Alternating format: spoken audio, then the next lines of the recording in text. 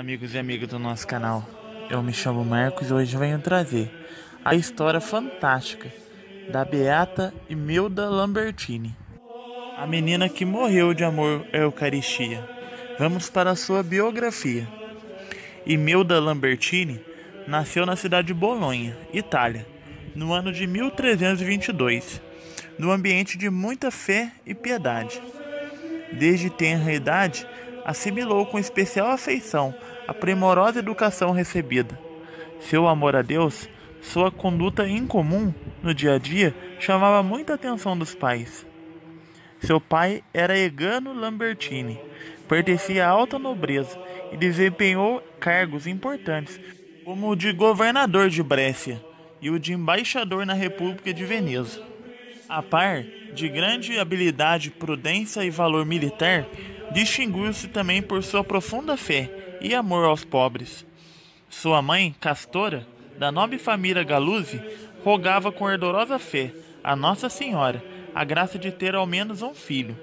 Após rezar inúmeras vezes o rosário nessa intenção, obteve por fim o favor pelo qual tanto ansiava, o nascimento de uma bela menina. Era de fato uma menina muito especial, os jogos infantis não lhe agradavam como a oração. Costumava esconder-se nos locais mais ocultos da casa para aplicar-se a ela. Sua mãe sempre a encontrava ajoelhada e rezando, quando sentia falta da filha em casa. Assim que os olhos de sua filha abriram-se para este mundo, Castora tomou-a nos braços e ofereceu à Santíssima Virgem, dizendo as seguintes palavras: Ó Senhora, uma filha mais bela vós não podeis ter me dado. Eu vou-la ofereço, tomai-a por inteiro. A Virgem Maria aceitou, com grande agrado, esse oferecimento. A pequena Imelda cresceu em idade e virtude, sob os cuidados de sua piedosa mãe, que lhe dispensou uma esmerada formação religiosa. As recreações próprias à infância não atraíam. O que ela mais gostava era mesmo conversar sobre Deus e as coisas sobrenaturais. Passava longas horas ajoelhada diante de um pequeno altar que ela mesma adornava e floria. A voz de Deus não tardou em inspirar-lhe no fundo da alma o desejo de abandonar o mundo e consagrar-se totalmente ao seu serviço. Ao completar nove anos de idade, a menina pede insistentemente para ingressar no convento das irmãs dominicanas. Porém, a Madre Superiora, de todas as formas, tentou persuadi-la a esperar, pois a idade ainda não permitia que fosse admitida entre as irmãs do convento, mesmo naquela época, sendo comum a admissão de crianças em conventos, seja por vontade própria ou seja por iniciativa da família. Com a insistência de Milda, tornou-se constante a madre, que conhecia seus pais, e indagou se não estava feliz por ter pais maravilhosos e boas condições de vida em casa tendo ela prontamente respondido que estava, sim, muito feliz, que amava sua família, mas que as irmãs tinham algo a mais que lhe atraía muito: Nosso Senhor. Era a devoção à Santíssima Eucaristia que verdadeiramente lhe encantava e lhe enchia a alma de amor e devoção.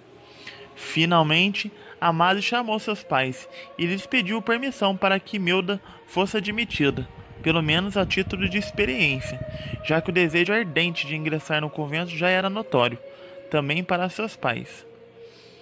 Apesar de entristecidos, percebiam que Deus reservava algo de extraordinário para a pequena filha. Por isso, acabaram aceitando a proposta da reverenda e consagraram-na a Deus. Dois anos depois, uma singela cerimônia íntima teve a felicidade de receber o hábito de São Domingos Bem sabe a santa menina que esse inapreciável dom lhe pedia, em contrapartida, um redobramento de fervor. Tomando aquele ato com profunda seriedade, Imelda tornou-se um modelo para todas as irmãs. Só pelo fato de vê-la passar com alegria, modéstia e humildade, as religiosas sentiam-se confirmadas em sua vocação. Consumado seu ingresso, tudo lhe era motivo de encanto. Os momentos de oração, o hábito das irmãs, o silêncio, era muito amado por elas, que tentavam privá-la dos serviços e da rigidez da regra. Mas nada adiantava, pois queria acompanhar as irmãs em tudo, participando plenamente e auxiliando nos trabalhos monásticos do convento. A madre pedia que não acordasse durante orações noturnas, mas Imelda levantava-se no meio da noite e percorria os grandes salões do convento, caminhando e rezando silenciosamente as matinas. A visita ao tabernáculo, a Jesus Eucarístico, fazia sua alma transbordar de alegria. Só a pronúncia de qualquer assunto relacionado à Eucaristia fazia com que o seu rosto se transfigurasse instantaneamente. A monja menina passava horas junto ao sacrário, Apenas surgia uma oportunidade lá estava ela, imóvel, com os olhos fixos no tabernáculo, a fisionomia iluminada por uma intensa claridade. As religiosas se admiravam do fervor e piedade de sua infantil companheira, e maravilhadas concluíram que sobre aquela alma pairava um especial desígnio da providência. Ela desejava ardentemente receber a Santa Comunhão.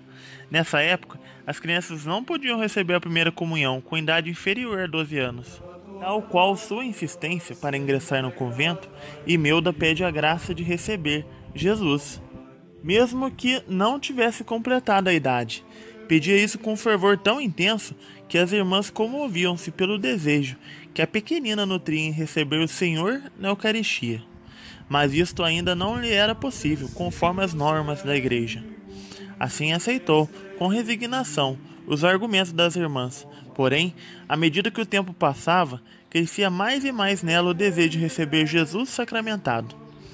Na madrugada do dia 12 de maio de 1333, véspera da festa da Ascensão do Senhor, tinha ela completado 11 anos de idade, quando, depois da Santa Missa, a última freira que saiu da capela observou que a pequena Imelda, como de costume, lá permaneceu sozinha, rezando mais um pouco. De seu coração brotou mais uma ardente súplica, dizendo assim: Meu Jesus, dize-me que pelo fato de ser criança não posso ainda comungar.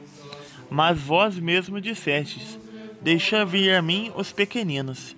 Eis que vos peço, Senhor, vinde a mim.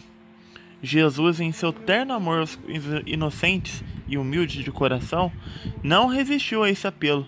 Só que desta vez a freira percebeu algo extraordinário. Uma hoxa flutuava acima dela e lhe projetava uma luz branca. Rapidamente, essa irmã chamou as outras monjas e todas se prostraram diante deste milagre. A madre, constatando que se tratava de uma manifestação real de Deus, para que a menina recebesse a primeira comunhão, chamou o pároco. Ao chegar com a patena de ouro nas mãos, o padre, admirado, dirigiu-se até a hoxa. Assim que se aproximou da menina ajoelhada, a hoxa pousou sobre a patena.